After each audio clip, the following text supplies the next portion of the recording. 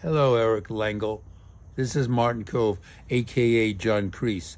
Matthew and Andrew wanted me to wish you a happy Father's Day. From one sensei to another, keep being a great dad. And remember, mercy is for the weak, here and on the streets. Somebody confronts you, even during Father's Day, they are the enemy, and the enemy deserves no mercy. So have a great Father's Day. And remember, you are the way of the fist. Strike first, strike hard, no mercy.